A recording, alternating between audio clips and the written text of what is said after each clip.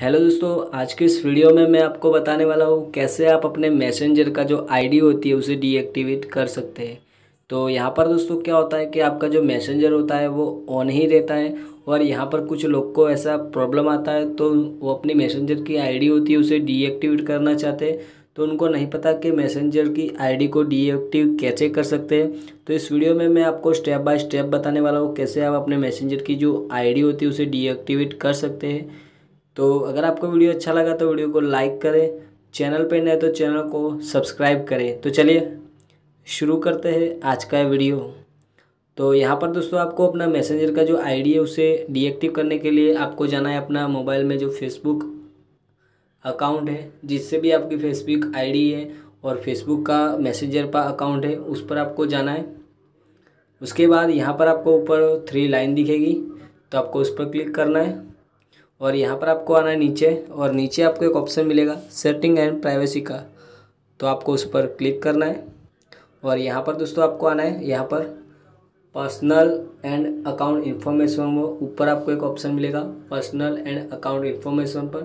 तो आपको यहाँ पर क्लिक करना है और यहाँ पर आपको नीचे आना है और नीचे आपको एक ऑप्शन मिलेगा अकाउंट ऑनरशिप एंड कंट्रोल तो यहाँ पर आपको उस पर क्लिक करना है।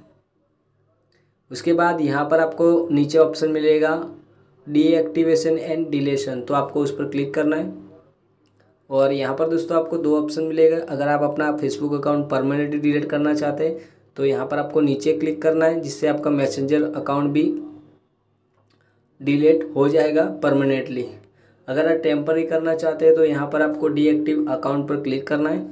और नीचे यहाँ पर आपको कंटिन्यू अकाउंट पर कंटिन्यू अकाउंट डीएक्टिवेशन पर क्लिक करना है।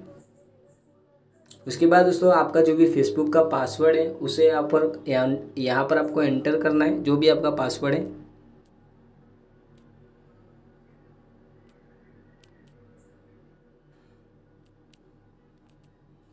तो पासवर्ड डालने के बाद दोस्तों, यहाँ पर आपको नीचे कंटिन्यू वाले बटन पर क्लिक करना है।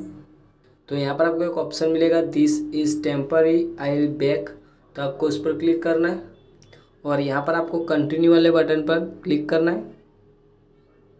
उसके बाद दोस्तों यहाँ पर आपको नीचे आना है। नीचे आने के बाद दोस्तों अगर आप हमेशा के लिए यहाँ पर आपको डिलीट करना चाहते हैं तो डोंट री यहाँ पर आपको एक ऑप्शन मिलेगा नीचे डोंट रीएक्टिव ऑटोमेटिकली तो यहाँ पर आपको उस पर क्लिक करना है। उसके बाद यहाँ पर नीचे आपको कंटिन्यू वाले बटन पर क्लिक करना है। उसके बाद दोस्तों यहाँ पर आपका जो मैसेंजर का ऑप्शन है यहाँ पर आ जाएगा और यहाँ पर आपको डीएक्टिव में अकाउंट पर क्लिक करना है।